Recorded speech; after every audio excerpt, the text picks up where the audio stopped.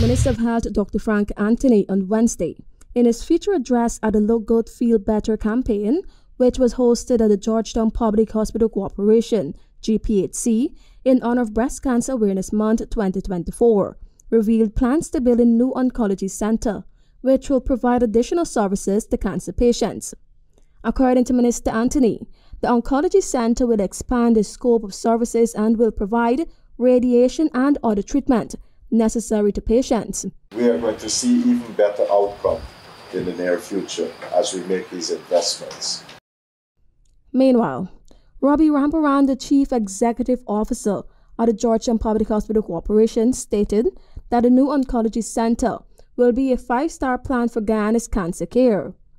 Additionally, Rambarran added that the new drugs for cancer treatment amounting to $150 million will be catered for in the 2025 budget. He also noted that the waiting time for results has been reduced from three months to seven days. We are currently spending in excess of $300 million in cancer drug a year, but we are making the improvements um, to, so that people like yourself can, can have better care. 246 men and women were diagnosed with breast cancer at GPHC during 2023 and 2024. But in 2024 alone, the Cancer Registry has reported a staggering 900 new cases, with more than 300 fatalities recorded.